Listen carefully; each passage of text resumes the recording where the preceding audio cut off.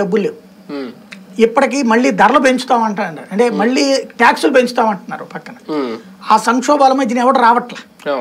దాంతో మనోళ్ళు అనుకోండి ఇప్పుడు పది లక్షల రూపాయలు మనం ఇక్కడ మూడు లక్షల రూపాయల జీతం అనుకుంటాం మన లెక్క. అక్కడ వాళ్ళ లెక్కన మూడున్నర వేలు. వాడు మూడున్నర వేల పౌండ్స్ ఇచ్చాడు అన్నాడంటే మన దగ్గరకు వచ్చేటప్పటికి మూడు వే మూడున్నర లక్షల రూపాయలు అవుతుంది. మనం ఆ లెక్కను చూసుకుని వెళ్తాం. వాడికి అక్కడ మూడున్నర వేలు ఇచ్చినట్టు. అంతే కాబట్టి ఇస్తున్నాడు అది. ఒక రకంగా మోడీ గారి క్రెడిట్లోకి వెళ్తుందా? ఇది రేపు పొద్దున్న ఎన్నికల మీద కూడా బాగా ప్రభావం చూపిస్తుందా? కొనేటప్పుడు వెళ్తుంటది కానీ మూడు వేలు అంటే ఏం ఆహా, మూడు వేలు కాదు. జీ ట్వంటీ సదస్సు ఇక్కడ నిర్వహించడం అనేది సహజం అంటే రేపు ఇప్పటివరకు ఇప్పటికి ప్రపంచ దేశాల దగ్గర అయితే మోడీ హవా నడుస్తూ ఉంది.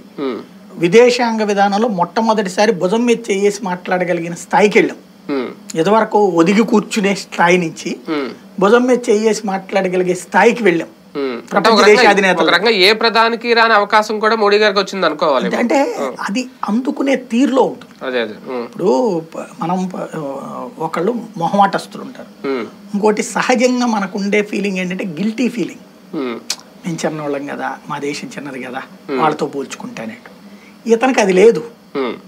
నాది గొప్పది అంటాడు. నా దేశం గొప్పది అంటాడు. మోడీ గొప్పోడు అనుకోవట్లే ఆయన నా దేశం గొప్పది. నా దేశం మార్కెట్ పెద్దది.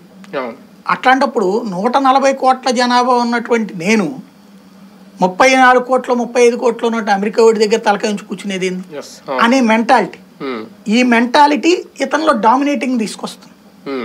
అదే సందర్భంలో ఆ డామినేటింగ్ అవతలోడి మీద అహం ప్రదర్శించట్ల. అవును. నవ్వుతా తీసుకుని వెళ్తున్నాడు.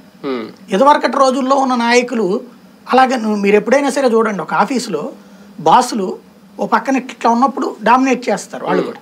అదే కనుక హాయ్ సార్ అని మాట్లాడితే వెళ్తున్నాం అనుకోండి ఉమ్, "ఆ, హాయ్ బాస్ అంటారు. అదే సహజ సిద్ధం. ఇప్పుడు ఇతని దగ్గర అది.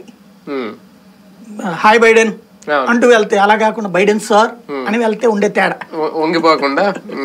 రైట్ చూద్దాం. మొత్తానికి మోడీ గారు చెప్పినట్టు భారతదేశంలో ప్రతి పౌరుడు కూడా గర్వించదగ్గ అంశం ఇది. జీ ట్వంటీ సదస్సు ఇక్కడ నిర్వహించడం అనేది రెండు వేల ఇరవై మూడులో జీ ట్వంటీ సదస్సు పూర్తయిన తర్వాత ఎటువంటి నిర్ణయాలు ఉంటాయి? ప్రపంచాన్ని మొత్తం ప్రభావితం చూపించే ఈ